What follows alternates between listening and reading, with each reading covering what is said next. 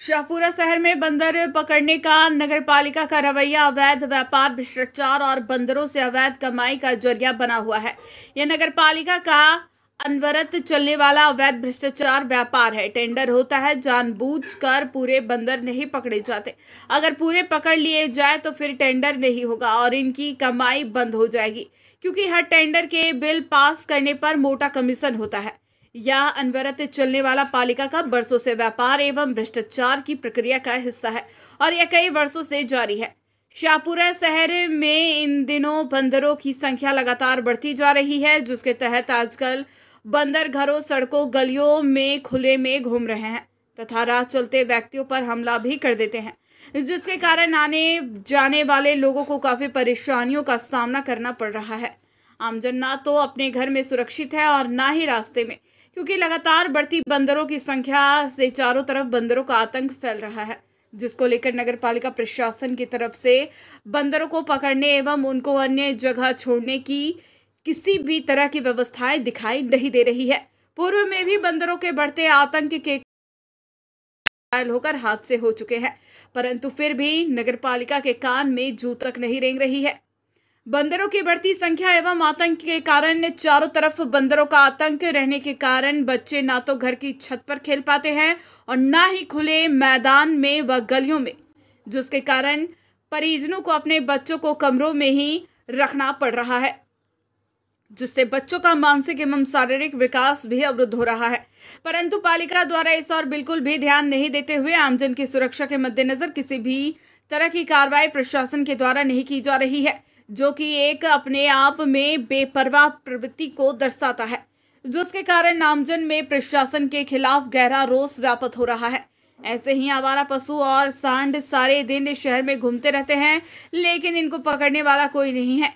यह आपस में लड़ते हैं, जिससे कई लोग चोटिल हो चुके हैं। वाहनों को नुकसान पहुँच चुका और शहर में जाम लग जाता है। बहरहाल, इस शहर का कोई धनी धोरी नहीं है। आज हम बात करेंगे शाहपुरा नगर पालिका की प्रमुख समस्या के बारे में, जिससे यहाँ का आम शहरी आतंकित है।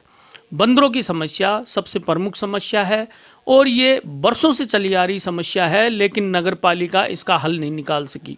बार बार टेंडर होते हैं बार बार बंदर पकड़े जाते हैं, लेकिन पूरे बंदर नहीं पकड़े जाते। ये जानबूझकर किया जाता है। ये अवैध व्यापार और भ्रष्टाचार का नगर पालिका का हिस्सा है। क्योंकि बार बार टेंडर होंगे बार बार जो है, कमीशन मिलेगा उनको, इसलिए बंदर पूरे नहीं पकड़े जाते। इसमें पार्षदों की भूमिका भी अहम हो जाती है। ठेकेदार जो है, उनसे मिल लेता है और जब गणना होती है तो पाँच बंदर की जगह पचास बंदर लिखाए जाते हैं। पिछले बोर्ड में तो बीस लाख रुपए के बंदर पकड़े गए थे। इस बोर्ड का आंकड़ा तो हमारे पास नहीं है, लेकिन अब शहर के जो निवासी हैं, वो काफ़ी परेशान हैं। बच्चे, बुज़ुर्ग और वास्तविक रूप से गृहणियाँ ज़्यादा परेशान हैं, रसोई में से बंदर सामान ले जाते हैं, कपड़े फाड़ देते हैं, बच्चे बाहर नहीं खेल सकते और ये अनवरत चलने वाला नगर पालिका का अवैध भ्रष्टाचार जो है बरसों से चला रहा है। ऐसी बात नहीं है कि सिर्फ़ इसी बोर्ड का ये प्रकरण है या अब की बात है, ये पिछले बोर्डों का भी यही हाल था और इस बार भी यही हाल है, लेकिन इस समस्या का अंत नहीं हो पा रहा। बंदर पूरे नहीं पकड़े जाते, आधे पकड़े जाते हैं या थोड़े बहुत संख्या में पकड़े जाते हैं तो ये जानबूझकर किया जाता है। फिर बाद में फिर दोबारा टेंडर होता है, हर सालाना टेंडर होते हैं। इस बार तो शायद टेंडर भी नहीं हो पाया है, जहाँ तक हमारी जानकारी में है। और इसके अलावा जो है, आवारा सांडों की समस्या है। अनगिनत आवारा पशु और सांड यहाँ घूम रहे हैं। दो व्यक्ति जो है हादसे का मौत का शिकार हो चुके हैं। कई लोग घायल हो चुके हैं बंदरों से और सांडों और आवारा पशुओं से। लेकिन इन समस्याओं की ओर कोई ध्यान नहीं दिया जा रहा और बंदर पकड़ने का तो फिर भी टेंडर होता है। कुछ थोड़े बहुत पकड़े जाते हैं। लेकिन आवारा जो पशु है, इनका तो टेंडर ही नहीं होता। इनको तो पकड़ते ही नहीं है। अब जो है वो सड़क पर वाहन चालक परेशान है, जाम लग जाता है। ऐसी स्थिति है, आखिरकार शहरी आम जनता को इन बंदरों, आवारा पशुओं और सांडों से कब मुक्ति मिलेगी? यहाँ की जन है और बुज़ुर्ग व्यक्तियों में आते हैं। बंदरों की आतंक से आप कितना परेशान हैं और इसके बारे में आपका क्या कहना है? बंदरों के कारण पूरा गाँव शाहपुरा परेशान है। हम तो हैं ही। बाकी आम जनता भी परेशान है। इनके कई बार टेंडर हो चुके लेकिन पकड़े नहीं जा सके आज तक भी। और जब जब भी टेंडर होते हैं, वो क्यों खारिज हो जाते हैं, क्यों बंद, अधूरा काम होता है, ये समझ में नहीं आया अभी तक।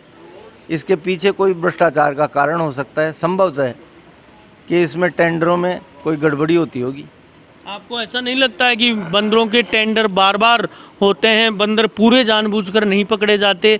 ये भ्रष्टाचार और अवैध व्यापार का अनवरत चलने वाला बरसों से पालिका प्रशासन का हिस्सा है। संभवतः सही हो सकता है ये बात कि वो पकड़े नहीं जा रहे हैं। बार बार टेंडर होने के पश्चात भी।